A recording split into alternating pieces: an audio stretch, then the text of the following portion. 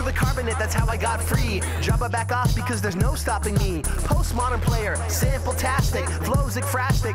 I get drastic. Hey, watch the plastic. Yo, I name check and leave you dra- Welcome to the MacGuffin, episode 236. I'm Spencer. I'm Greg. Today, in honor of the release of Oz the Great and Powerful this March 8th, Mm-hmm. Yes. it's Friday, March 8th, we're going to be talking about James Franco.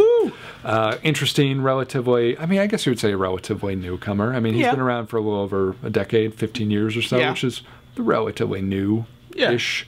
He's, I would say he's like our contemporary ish. How about that? Throw that out there. I would say he is been around just long enough for teenage girls not to ever know he didn't exist.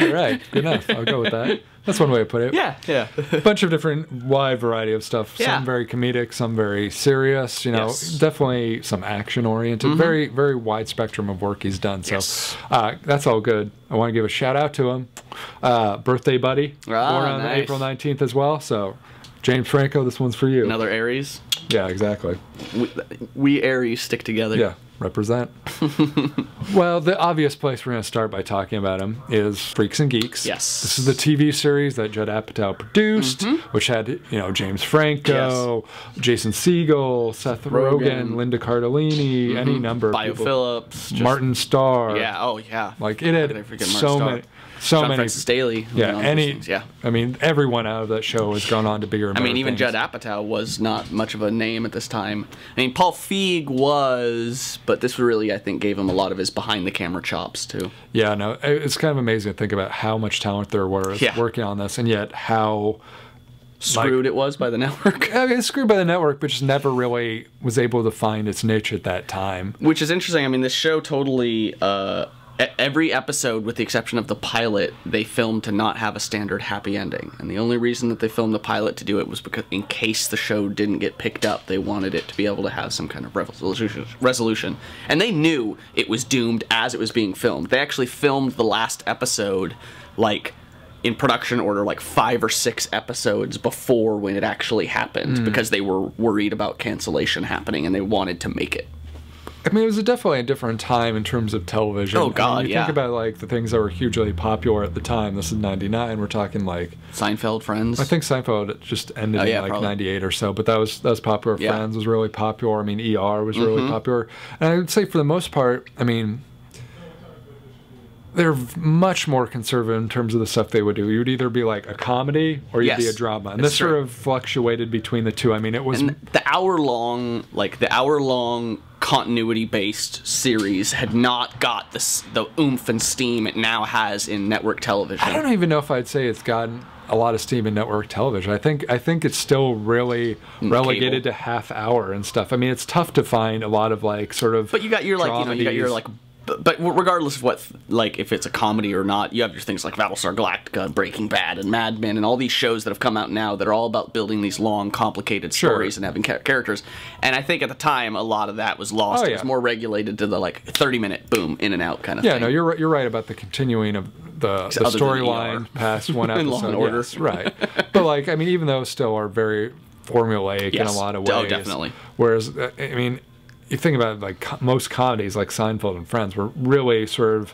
I mean, there was a little bit of build up over the course of Friends, but not No, really yeah. Seinfeld. I mean, very Yeah. well, like it's very much like The show about the nothing. slate is re- wiped clean after each Mm-hmm. episode, and for a comedy to sort of build on that. And it was I don't even know if describing this as a comedy is really necessarily the best way to go because I mean, sure there was comedy in it, but I don't think it was funny enough to be seen as a comedy Yeah. or necessarily dramatic enough to be seen as a yeah, drama. I think more like a high school show is mm-hmm. almost probably more realistic, which is makes sense because nearly everything that happens to the characters in the show happened to Paul Feig or other members of the crew. For example, the blue suit that Sam wears, the showering in the locker room storyline, like those things all happened to people that made the that made the film. I made the show, and I also find it really interesting because you know it's one of those shows that has a pretty good, I think, authentic looking hmm. time period. I think authentic looking sets. Well, the pilot was filmed in an actual school. They found an hmm. actual school, and then after the show got picked up, they made exact duplicates of the entire on a soundstage of the entire school scenes. Like they, and then the rest of the series they just filmed on those sets. I mean, it's it's interesting to think about. It. I mean, we we think about it in the sense that it, it was not a success, Mm-hmm. but at the same time, I mean, it was nominated for the Emmy for outstanding writing for a comedy series, uh, for the pilot, and I believe the next year for Discos and Dragons. Mm-hmm. That's the finale. But Such a good episode. It did win outstanding casting for a comedy series, which Wow. Mm-hmm. makes total sense, especially looking back now. But like at the Yeah. time, like to, to award it for a bunch of people who at the time you didn't know what they were going to go on to do. I mean, was pretty I think it was pretty clear at this time that all those people were very talented, and that's what gave Apatow so much credibility going forward is that he had this just eye for like grabbing the right people. It's on. I mean, I, I think this is still the show is considered like in the top twenty-five of like best cult shit TV shows Oh, that exist out there. Like, And it's funny easily. to see people like the the mom, um, Jean Weir, Becky Ann Baker is now on like Girls Yep. and stuff like Yep. that. So in a very dramatically different sort of perspective, but, but still playing them all. so it's, I mean, it's still a very very fun Yes, show, and I, yeah. I mean, and it's I- got uh, what's his name? Uh, who played the guidance counselor? Gruber. Yeah, Dave Gruber, Gotta who we love- interviewed him on this very Nice. podcast. Yeah, super nice guy. He's he's great. Super He's nice so guy. funny. It's kind of funny to think though that you go from such humble beginnings and just a few years later he was in Spider-Man. Yeah. I mean, between this, between Freaks and Geeks and Spider-Man, he did uh, like a James Dean TV movie, uh, whatever it takes. Yeah. which was before Freaks and Geeks, and uh, like a few other things. Never been kissed. Yeah, like- but really not any hugely. Yeah, and he just leaps from this show that while it got some notoriety was obviously not popular with the with the audiences at the time it was out, and then he just leaps into a franchise that like the X-Men series pretty much made the comic book movies popular. Yeah, I would say it was definitely those two that, or I would say X Men made it popular and Spider Man solidified it Yes. by being so successful. Spider-Man really took the special effects and said, "Look, you can make a, spi- a sp- uh, Spider-Man." I movie." think I think it was really interesting though because this is one of those ones for a long time that seemed to be unproducible or Oh yeah, unfilmable. I Like, think until eighty since eighty six they were working on trying, Trying to to make it. get it, so many people like James Cameron was attached to it for like ten years or something. they and just all these get it people, done, and yeah, yet finally Sam Raimi steps in and you know knocks it out. Great cast. I mean, you have people like um, Tobey Maguire Mm-hmm. and Willem Dafoe, which are really, really well uh, cast Oh, in their yeah. roles. But it's it's interesting to sort of see you know smaller people like Kirsten Dunst and James Franco sort of given these opportunities. And granted, like I'm not the biggest Kirsten Dunst fan. I know Mm-hmm. Neither a lot of I. people who are. Like she's fine. Yeah. like she's fine. Yeah. I prefer. Um, uh, Emma Oh, Stone Emma Stone, yeah. as Gwen, Gwen Stacy, Stacy, but yeah. you know it's it's fine. I mean, the list of people that were also up for. Uh, I was looking at this list last night, and the list of people that were up for Mary Jane. Hmm. You know, really in the list, it was like Mena Suvari and like Alicia Witt and like and like uh, Alicia Nobody would have been Cuthbert anybody. and like Eliza Dushku, and it was like okay. You know, maybe some of those people were like more lookers, but I don't necessarily think any of those other four actors are, do are better, better. actresses than Kirsten Dunst. And Kirsten Dunst isn't great in this movie, but fine. but I mean, she I, overall I think is probably a better think they give actress her- than that rest of that list. I mean, I think it's a very limited role to begin with. To be honest, like it's not, none of the films really give her much. to especially in the first one, you've got to just basically be that character, so later it can turn into something. I actually think like this is probably the one where they actually give her the most material to work with which because is you sad know because it's the one where she's got the crappy wig rather than dyeing her hair like But- the later ones.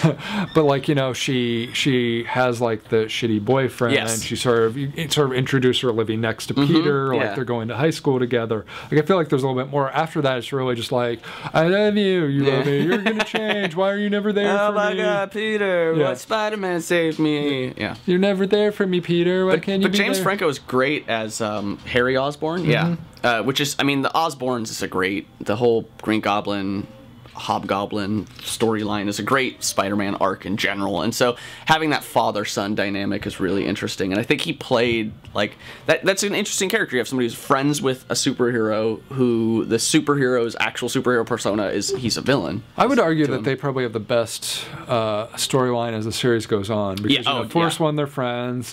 The second one, um, he, he, I mean, he falls out with them. I Yeah, think. yeah, the kind at odds. Yeah, and then the third one, like he wants to flat out kill him, but then they have to sort of like you know join forces Mm-hmm. Yes. to save the day. Like I feel like they probably are the more interesting uh, relationship arc Yeah. in the series. And so, something that I find fascinating because it's one of those movies that was really like over, not overdone, but like really heavily special effects, and it was li- it could be popular because the special effects were so good. You know that scene where Peter Parker catches all everything on the tray? Yes. It's not CGI. He actually just had sticky substance to hold the tray on his hand, and they just did it many, many, many takes till he actually caught those all on his own. Wow. Way to go, Tobey Maguire! Yeah, Right? that's pretty awesome.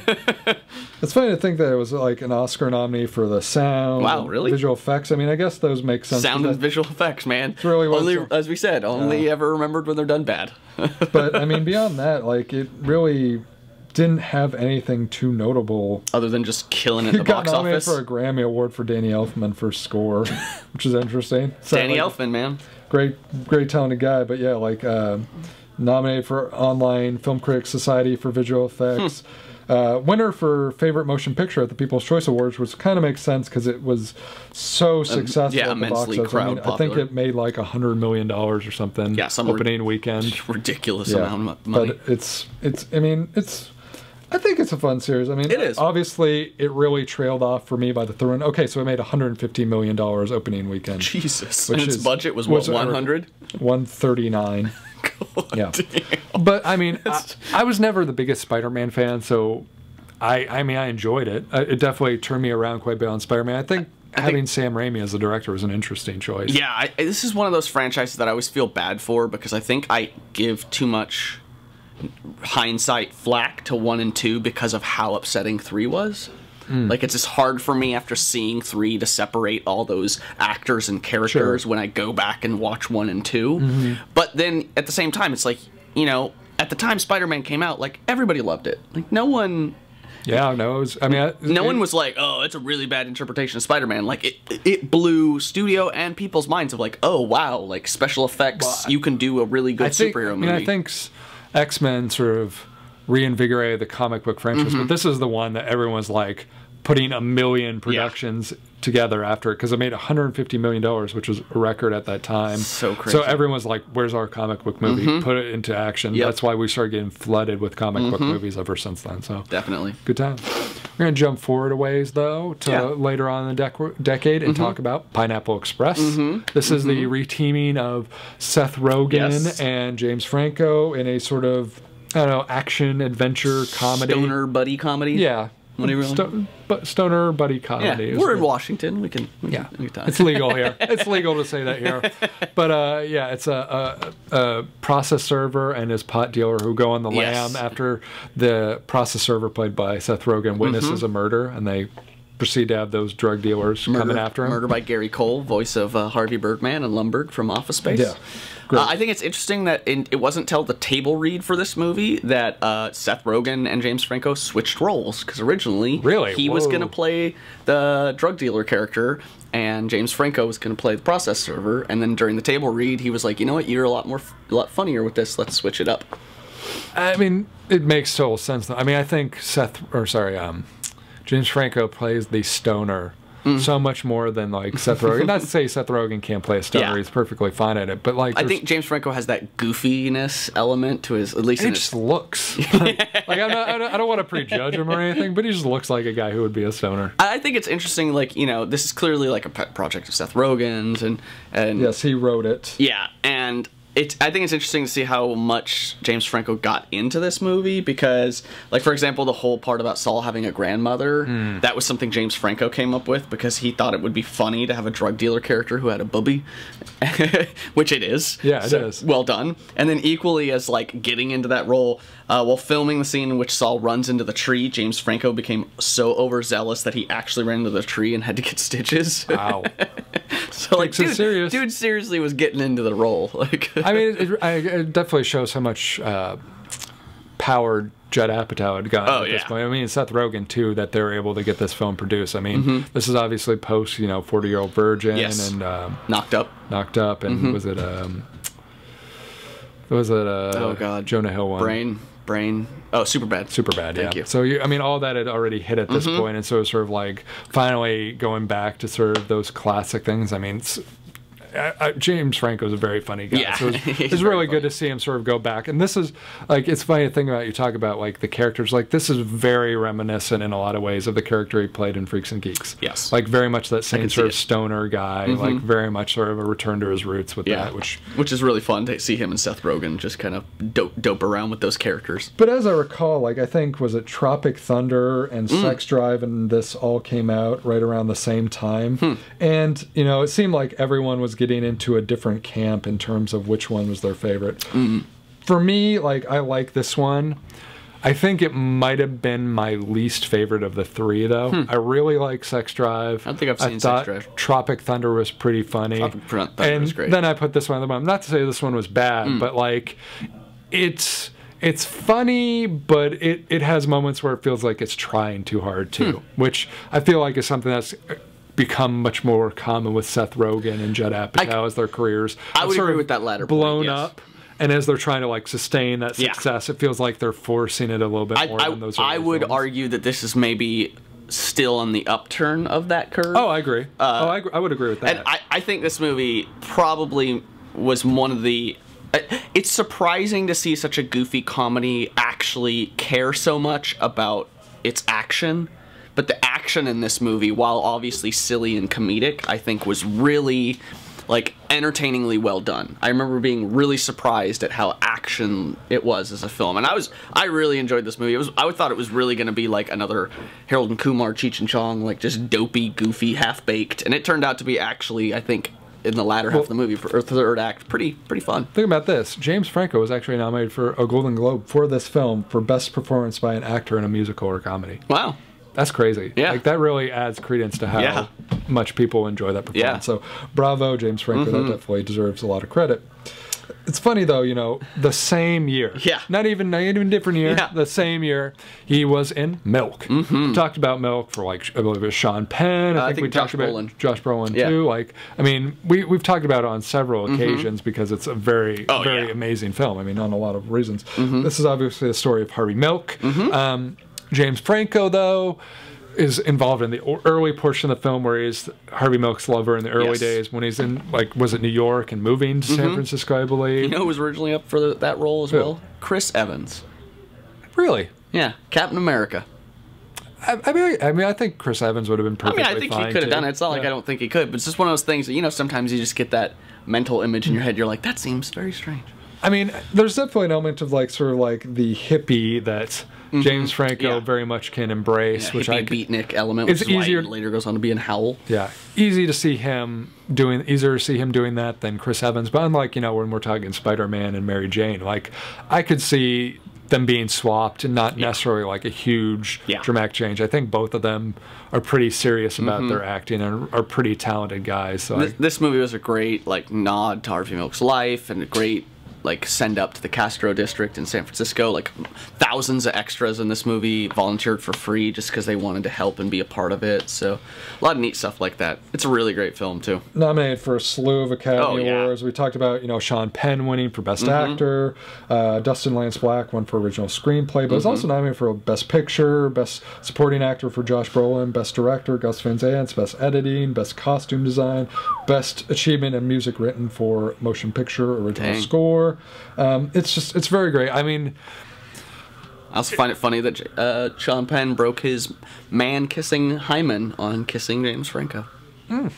well, good good on them for that. I mean, both very talented guys. I Mm-hmm. mean, if anything, I would have liked more uh, James Franco in the movie, Yeah. but I mean, you know, obviously he can't really change history that Yeah, much. can't can't win them all. No, so it's, it's, it's a very solid film. It's, It is. It's, it's very though interesting to see that difference in terms of that's theme, like so much more comedic versus goofy so stoner comedy, uh, gay political biopic. Like that's quite different. Yeah, keep, keeping it, keeping Yep, it. keeping it real, but then flipping around, man, he goes right into the hardcore. Yeah, I mean, he he even builds upon like the momentum of Milk, and then he goes on to do 127 hours. Mm-hmm. Yes. which is a story of what's his name? Uh, Aron Ralston. Aron Ralston, yes, who got trapped while out hiking. He got trapped with his arm under a boulder and Mm-hmm. Yep. uh, ended up Blue John Canyon. ended up having to do some really uh, tough things to survive, so to speak. when this was shown in theaters, they there were actually people who had uh, medical emergencies during the amputation scene. Like, I mean, I would say it was probably one of the most visceral reactions I've ever had to film, and yeah, we, it like was- even more than like Un Chien Andalou, the old Salvador Dali movie where he like slices the eyeball in half with Yeah. a razor blade. Like even more than that, I was that's- like, I mean, it- oh, it, took like minutes too. It was Yeah. not a quick thing. no, it was. It, I mean, it was. I mean, a you're you're cutting off a limb, which is always going to be a tough Yes. thing. But b, I I mean, it was shot and edited. Like, it wa- yeah, it was trying to. But also, Danny Boyle, man, god damn. it's it's it's such a i mean it it's one of those films that like we've done a top five list on this Mm-hmm. podcast where it's like top five films you would never want to watch again this one would definitely be on there for me Oh. because it's just so painful to watch because I think I would watch it up to that so point, real. and I would want to fast forward and then continue watching the rest of the film. and then it was funny because I even got like I completely uh, freaked out when he has to drink out of that rancid pool Oh. after it. I was like, oh no, don't, don't.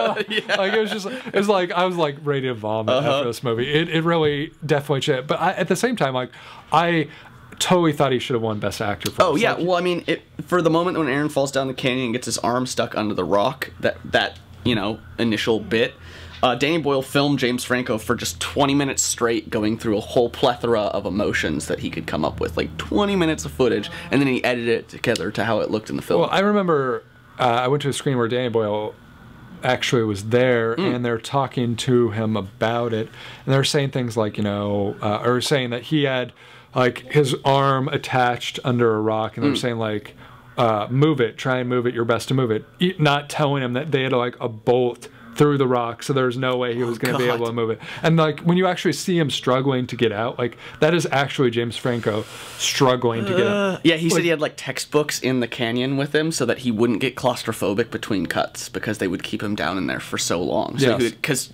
James Franco's a crazy academic, so he would be like, "Oh, we're on cut. Let's read this book. I'm reading this book. I'm reading this book. I'm not thinking about it. I'm not thinking about it." Yeah, no, it's it it real. It feels so real that it's it's it's so tough to watch. I mean, And there's some interesting stuff about this film, I, like the fact that Aron Ralston filmed this daily video diary when he was stuck, just like they show in the film. The footage has only been shown to close friends and family, and is kept in a bank vault for safety. Before shooting began, James Franco and Danny Boyle got permission to watch it. I'll I'll one up you on that.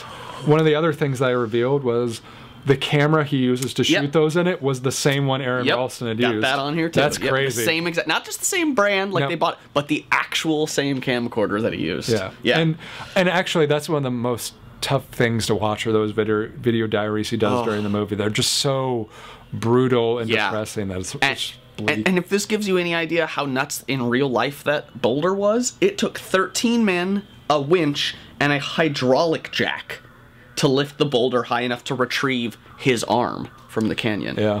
Which he scattered the ashes of over the boulder on, I think, with Tom Brokaw. I don't even know if I'd want it at that point. Like I don't. Like I kind of Why do you want. think he scattered the ashes? He's like, I don't want this. Sh-. I, I would kind of want to be like, I don't even want to think about Oh, that. yeah. I don't want, I, like, we, we can move on. Like, Yeah. let's just leave it there. Like, uh, so brutal. But I mean, you know, it's nominated for Best Picture, Best Actor. Let's see, uh, Best Adapted Screenplay, Best Editing, Oh, Best Best Original Editing. Score, Best Original Song. More of that A.R. Rahman stuff from, Hmm. um, uh, what was that film he did before this? Um, Jai Ho. Um, Oh,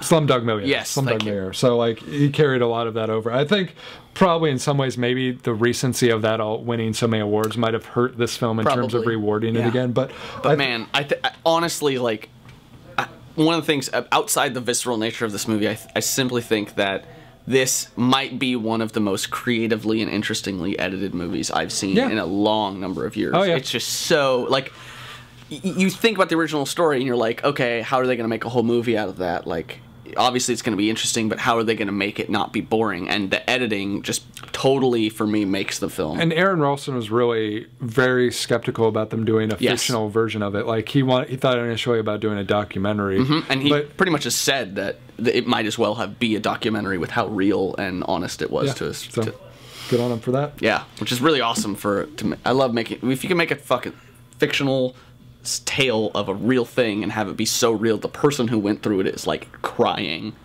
Yeah, You did good. yeah. You done did good. But going back in the opposite direction just a year later. As we were saying, on the other side of that Apatow esque curve. Yeah, which is funny because it's the same director as um, Pineapple Express. Okay, yes. We have Your Highness, which is the Danny McBride uh, story with him as sort of knights. Prince who gets stoned and fights dragons. But uh, uh, they're they're on the quest to retrieve Yes. James Franco's love. Played by Zooey Deschanel. Yes. Uh, along the way, they run into um, Natalie Portman, Yes. who becomes the love interest of Danny McBride. I I mean, it's it is basically a stoner medieval action movie. This movie could have been really, really funny. But you know what was sad about this movie? I was pretty excited about to see this movie. Five minutes into this movie, you could tell it was not going to be very good at all. It's not even like it went in a way and then it started being bad. It was like really early on. I gotta admit, like when I saw the trailer, I was like, "This looks dumb." Oh, it totally looked dumb, but it also I thought it looked dumb in a way that like a lot of Will Ferrell movies go, where it can it can tick either way. It might be so dumb it's funny, or it might just be stupid. Just the, the notion of doing like a stoner, a stoner um, Medieval knight. story. Yeah, like just I was just like, this does not make any sense and to it, me. and it totally like it totally makes sense that most of the movie is improvised and there Yes. wasn't much of a script and it was made because Danny McBride and his friend have this competition where they would give each other uh, a challenge and the challenge was to make a movie about a stone prince who fights dragons and it's like you know there's a lot of reasons it's bad, but I think it's interesting to note, as I mentioned before, that James Franco's a crazy academic. Like James Franco, even though this movie isn't that great, like dude is nuts. Because during filming he flew back and forth between New York and Belfast because he was attending full-time classes at a university where he got a master's. Yeah, you know, at the same time though, like if you've ever watched like stuff online, like there were tons of photos that would come of him like sleeping in class. Who doesn't Which- sleep in class? Which is understandable, but come on, man. Like But who doesn't sleep in class? You still have to pass tests. You still have to do the work. I never fell asleep in class. I can say You that. never fell asleep in class? No. Jesus, Spencer. You Yeah. don't- I fell asleep so bad I had a I've in the front row of a lecture hall. I've skipped hall. plenty of classes, but I fell asleep so bad front middle of a lecture hall that the professor tapped a pen next to my head, and then when I sat up, he said, "You were snoring," and then went back to his lecture. Um, but no, on top of the fact that he's going back and forth, it's not just that. Okay, he's going back and forth. He's filming a movie. He's sleeping through classes, whatever you want to call it. But during and before and during the filming, for nine months, he practiced swordplay as well. I mean, it's not like he's give only filming and I'll going gi- to class. I'll give- working I'll his give ass off. I'll give him respect for that, but here's the flip side. Falling asleep during class, Mm-hmm. and the one nomination this film had Razzie? was James Franco, Worst Supporting Actor Razzie. yeah. Yes. Okay, so maybe he phoned it in. But Phone both of them, man. Like that's my point. Like he got a degree. ma- Not phoned maybe, that one in. maybe less is more is all I'm saying. Like focus on one and then Okay. the other, not trying and, do yes, both at the yes, same time. Yes, the work he's done with said degree and the, the, the, some of the academic work he's done is not the best, and some of his critique is not the greatest. And I know there's Brandy out there in specific, and and I have some problems with some of the things he said, but still, I just I, I find some of that stuff impressive. Even if you're phoning in a crappy movie, that you're also taking was, all that time. Was it this like the same year that he did the shitty Oscars? This was Oh, 2011 pro- with Anne Hathaway? Yeah, probably. so, not a mean- good not a good year for you, Franco. Not a good year. Not- uh, yeah, I mean, Fortunately, you bounced back though. you you bounce back in a big way. And we're talking a film that came out in August, which I thought was going to be terrible Oh yeah, before I saw is it. never a good month, and I thought it was going to be a bad movie as well. And that is Rise of the Planet of the Apes. Surprisingly, really good. Yes, this is sort of a reboot of the um, Planet of the Apes Mm-hmm. Probably franchise. the best Planet of the Apes since the originals. I would say it's the best if you ask me. Like I, I, I thought the originals were fine, but they feel very dated to me. Well, yeah. Like I mean, I would say outside maybe the first Planet of the Apes, based on its creativity and the ingenuity of it, this is probably the best one. It's also a reimagining. I mean, the original ones were just like a, a more of an evolution of the apes or humans to apes, sort Mm-hmm. Yeah. of. Whereas this, they actually were engineered on accident in a laboratory setting. Mm-hmm. true. Which, with James Franco trying to, was it cure Alzheimer's Yeah, or something? I yeah. believe. and it's and it's also not like a weird sci-fi future as much as it is present day. I believe. I mean, it's totally something that seems cool. plausible. I Yeah. mean, it seems like they're working on a drug to improve um, brain slash memory Mm-hmm. function, and they're testing on animals. I mean, theoretically, you would think if it does improve brain function, who knows what could happen? Yep. And so, I mean, they keep a lot of nods to the original as well. Oh, like there's have so many. the the ape is named Caesar. Uh-huh. Um, the scene where he says no show is such a powerful one as it is in the previous Uh-huh. Yeah, movies. I mean, there's so many little nods all over the place. Charlton Heston's seen on screen, and every like the fifth time his he appears in a movie that he's a Planet of the Apes movie that he's not actually starring in, just Mm-hmm. as like a cameo thing. Um, I think it's interesting to note because the special effects for this movie were really well done. Andy Serkis, huge, huge surprise. That was one of the things I feared the Yep. most. Was I mean, the original ones. I mean, obviously, had done with actors and costumes. this is the first one that had the CGI rather than the Yeah. actors and makeup. and it was always Even like the Tim Burton one had people in makeup. Yeah, it, it was like, is this going to be able to recreate sort of that ape feel that the previous ones had done? And boy, did it Yeah, ever Andy. Serkis knocked it out the park, and also I think it's, this is interesting because this is something you don't think about very often. This is one of the first feature films to use mocap on location, Hmm. where they didn't just have the standard green screen studio grid setup to get mocap. They actually would have sets or locations, and then people with mocap suits acting within it, which I think cool. says a lot for where how far mocap has come. If only Robert Zemeckis would maybe learn a little bit from it. Well, I think he's he's moving on to do other stuff. So that's, that's- that just period. Let's move Unless he makes a sequel of uh, Roger Rabbit. well, you don't want the Polar Express too. No, Electric Boogaloo. Yeah. Uh, no, I don't. Um, another thing I think is just neat because you know this film is really I think has some really cool uh, symbol symbolism in it and neat kind of metaphors and, Hmm. and cool statements for a series that became such or in the original series kind of became just camp sci-fi classic. Sure. Um, after the apes have run rampant during in San Francisco at the end, Caesar, Maurice, Buck, and Rocket are you know shown on the uh, trolley car as it rides over the hill into the sunset.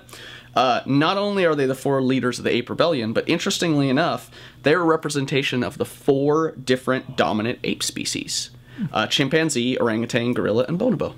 That's very cool. Yeah, they're all shown in unity and uh, standing upright and uh, rising up into the sunset, giving an interesting extra connotation to the film's title. I'm, I'm looking very much forward to the sequel. Is it Dawn of the Planet of the Apes? Mm-hmm. Yeah. that they've got in works. I think they I think just uh, got Gary Oldman. Yeah, Gary Oldman just yeah just signed on. I mean, I, I, I'm very much looking forward to it. It's, it's, if it can continue on this sort of feel, very much, it'll be awesome. And I mean, it was great to see this was nominated for visual effects, as it was a very pleasant surprise. Yes. Usually, August is a dumping ground, uh -huh. so it was a total surprise that this was as entertaining as it was. Original ending: James Franco died. Hmm. Spoilers for those who've seen it or haven't seen it. He lives, um, but he he died, and actually, like I think a week or two before it was supposed to be released, like really early before it was supposed to be released, they changed their mind, and uh, James Franco and Andy Serkis flew back to the studio over Fourth of July weekend to reshoot the new the ending that's actually in the film now.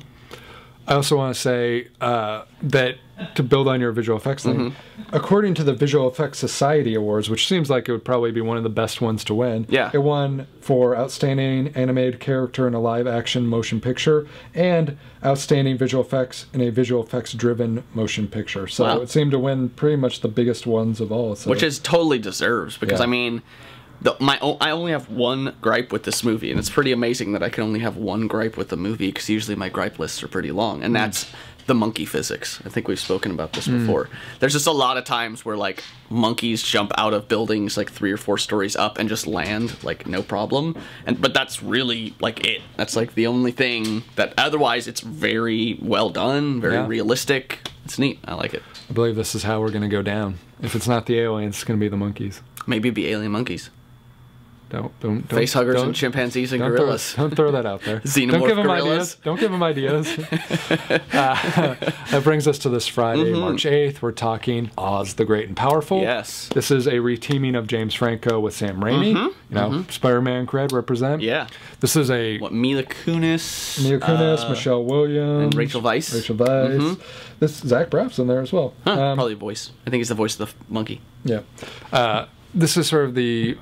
I mean, I, I guess I'm not an expert on the Oz. You world. could call it a prequel as far as chronology. is it a reimagining though? um, well, there's a lot of Oz books. Yeah, there's a lot and a lot. Mo- some of them are prequel-ish It and definitely- more about Oz himself. It definitely predates uh, Wizard of Oz because Yes. this is about James Franco becoming. Yes, this Oz, is right? about yeah, this is about the great wizard, um, whose name I can't remember right now, even though it was the name that Ben Linus took originally in Lost, and that's why I always used to remember it. But the character of the the charlatan wizard who gets sucked into Oz and then you know becomes the great wizard.